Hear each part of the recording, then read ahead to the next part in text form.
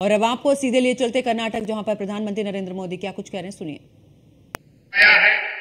Ethanol के ज़रिए हम गन्ना किसानों की इनकम बढ़ा रहे हैं।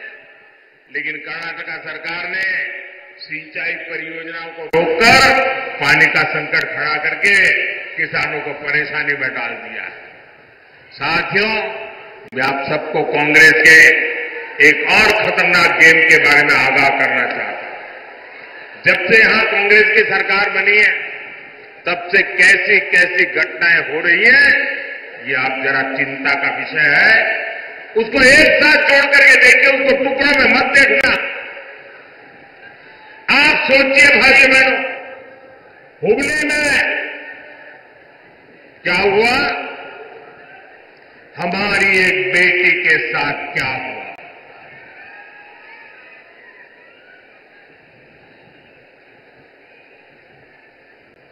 जहाँ शिक्षा का दाम है,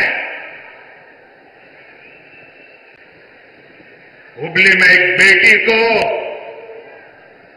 एक के बाद, एक के बाद एक चाकू के घाव मार दिए जाए। वो दृश्य देखकर हर किसी का दिल दहल गया। लेकिन यहाँ की पूरी सरकार वोट बैंक को बचाने के लिए बेटी के सम्मान पर ही हमला करने में जुट गई। तुष्टीकरण के लिए कांग्रेस किसी भी हद को पार कर सकती है। साथियों, कर्नाटका में कट्टरपंथी ताकतें बेलगाम हुई है। कोई दुकानदार अपनी दुकान के भीतर हनुमान चालीसा सुनता है तो उस पर हमला हो जाता है। राजधानी बेंगलुरु तक में दिन दहाड़े आतंकी हमला होता है, बम फूटता है, और सरकार पहले क्या बोलती है? कहती है, गैस का सिलेंडर फटा है। ये गैस का सिलेंडर फटा है कि तुम्हारा दिमाग फटा है बाद में कहते हैं ये बिज़नेस राइवलरी थी। भाइयों बहनों, ये नॉर्मल क्राइम की घटनाएँ नहीं है। ये आतंकवाद की, कट्टरतावाद की मानसिकता है और कांग्रेस सिर्फ़ वोट पाने के लिए इस मेंटालिटी को प्रोटेक्ट कर रही है प्रमोट कर रही है। साथियों, कांग्रेस की वोट बैंक की राजनीति के चलते अब देश में एससी, एसटी के अधिकार भी सुरक्षित नहीं है। एक और बीजेपी सरकार ने कर्नाटका में तलवारा समुदाय को एसटी का दर्जा दिया था। कर्नाटका में तीन लाख से ज़्यादा परिवारों को हक्कू पत्र दिए गए।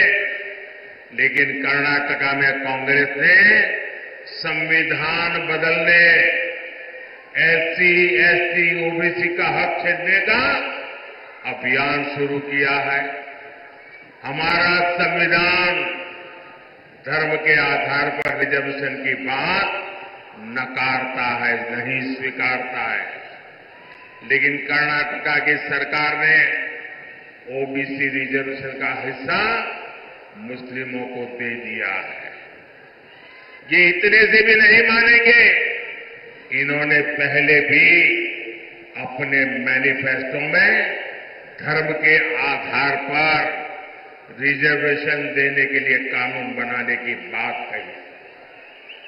इस बार भी इनके मैनिफेस्टो में ऐसे ही सिग्नल है।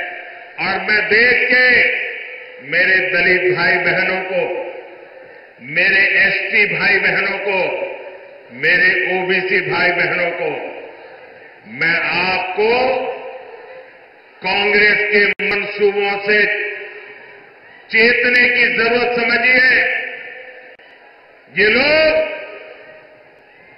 धर्म के आधार पर अपने वोट बैंक को रखने के लिए।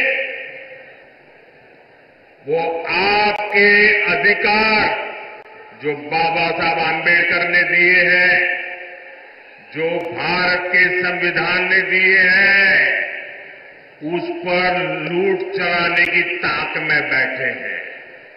उनको लगता है कि आज पार्लियामेंट में सबसे ज़्यादा एससी एमपी, बीजेपी के हैं।